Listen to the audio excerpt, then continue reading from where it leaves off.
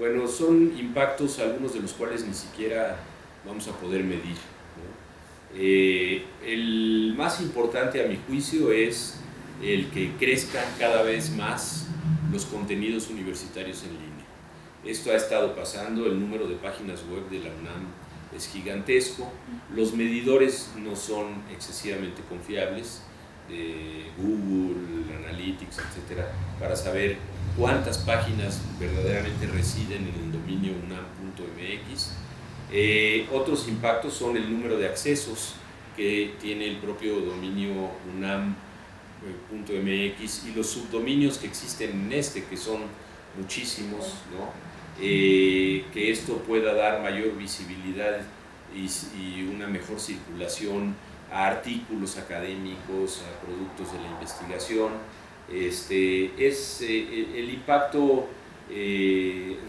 se va a expresar en muchas áreas, en un mayor reconocimiento del trabajo que se hace aquí, en una mayor, mejor comprensión social del tipo de cosas que hace la universidad, en una mejor distribución de materiales que puedan ser utilizados en otros lugares, en una mejor identificación de las áreas de conocimiento que se trabajan a profundidad y de investigadores y los temas que están tocando y las aportaciones que están haciendo, en mayor acceso social a las actividades de orden cultural de la universidad. Es importante eh, hacer un reconocimiento a las páginas del área de difusión cultural de la UNAM que están al día, que, producen una enorme cantidad de materiales eh, auditivos, fílmicos, este, que están enriqueciendo las páginas del dominio UNAM MX y por lo tanto de toda la UNAM en línea. Eh, creo yo que el impacto es permanente, a veces no todo él es medible, pero que es realmente una tarea que pone a la universidad al alcance de todos, eh, de toda la sociedad en nuestro país y fuera de él.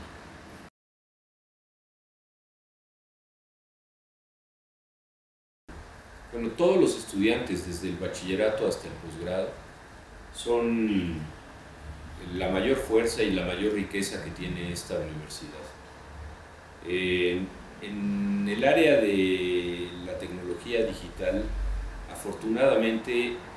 la gran mayoría de los estudiantes están incluso mejor capacitados que nosotros los profesores y los investigadores para producir con una gran creatividad materiales gráficos, videos, eh, textos, eh, textos innovadores utilizando técnicas diferentes que hoy nos pone a disposición la tecnología, las computadoras, hasta los propios juegos. A mí me parece que lo ideal es que los estudiantes pudieran plantearse retos para llevar sus ideas, sus proyectos más creativos a estar ubicados en las páginas de la universidad, en sus diferentes entidades. Y hemos promovido que las entidades den espacio a los estudiantes para poder ubicar estos eh, materiales que no necesariamente tienen que ser de una clase específica o de asociados a un profesor, que pueden ir de lo cultural a lo académico, a lo político y que este, esperamos que parte de la experiencia formativa de los estudiantes en la universidad sea a partir de la creación de contenidos que puedan mostrarlos a ellos mismos en sus procesos de aprendizaje, de reflexión,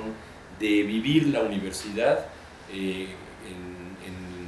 el Internet y que la gente pueda acceder a ello, que sirva como motivación enorme para que los estudiantes quieran seguir entrando a esta universidad, porque vean eh, a través de estos materiales y de otros eh, contenidos que se puedan generar, las enormes posibilidades que tiene un estudiante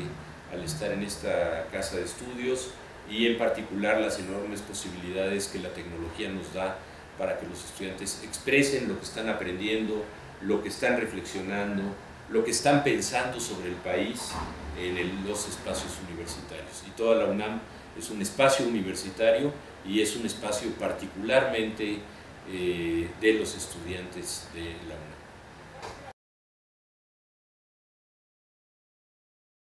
Yo creo que es muy importante que los universitarios eh, entendamos que el proyecto Toda la UNAM en línea es un proyecto de toda la universidad, de todos los estudiantes, de todos los profesores, de los trabajadores, de todos los que integramos a la UNAM. Eh, no es un proyecto de la administración central, no es un proyecto de una entidad específica. Y tener claro que toda la comunidad de la universidad está aportando a este proyecto cada vez que genera un texto, un audio, una foto, un video, algún contenido, algún material eh, y que lo ubica en el dominio de nuestra universidad. El proyecto es completamente colectivo,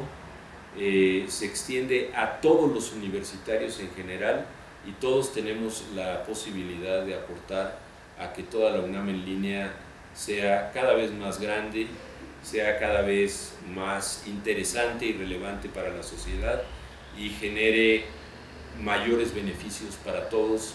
eh, los que estamos dentro de la universidad y los que se relacionan con la UNAM a través, entre otros medios, del Internet y de todo aquello a lo que pueden acceder en línea. Gracias.